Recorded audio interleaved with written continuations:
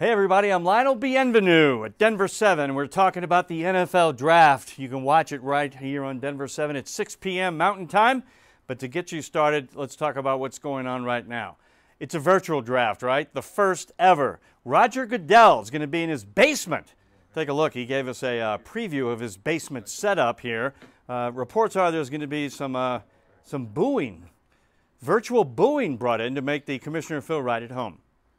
Uh, we also found out uh, what the Broncos setup is going to look like. Uh, Broncos uh, tweeted this out with their uh, IT guys showing us Vic Fangio's setup at his house and John Elway's set up at his house as well. Everybody ready to go.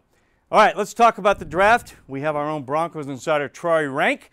And Troy is going to tell us what he thinks is happening and the latest on the draft as of today. Troy? This is going to be, Lionel, the most anticipated draft. Of course, you're asking me about that Broncos pick. I believe they're going to go with the receiver. I texted with Drew Lock earlier today, and he said, hey, he wouldn't mind if they added some speed at that position. That's the nature of this when you've scored 17 points a game. So, where would they go?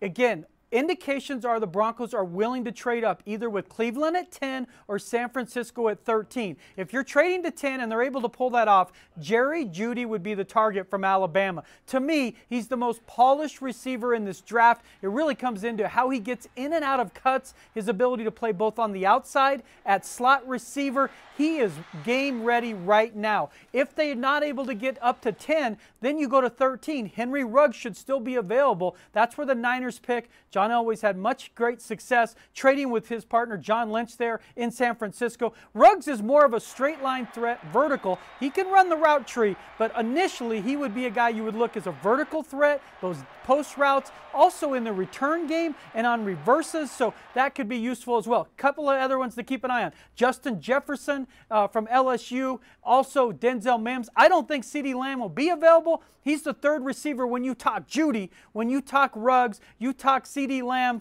People order them differently, but if the Broncos move up and they go all the way to 10, Jerry Jeudy, Lionel, would be the target. All right, Troy. Well, let's say the top three receivers are gone by the 15th pick, and the Broncos don't trade up to pick anybody, and they sit at number 15. What are they going to do then?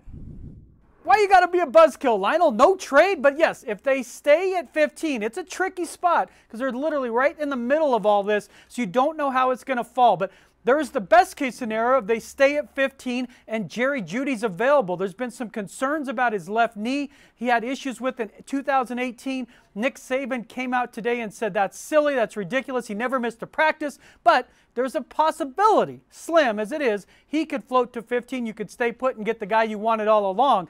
Otherwise, if you don't like the receivers there, and I still think they could take a long look at Justin Jefferson from LSU, though he's more of a slot guy, not the vertical threat. But look at offensive tackles then.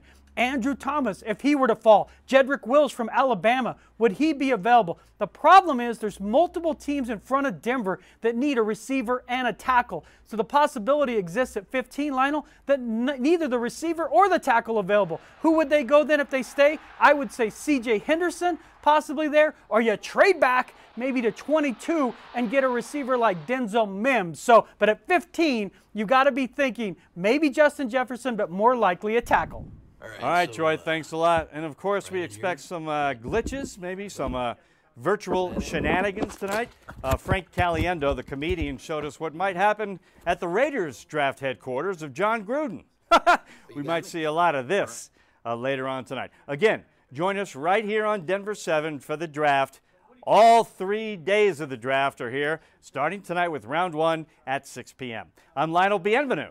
We'll see you later.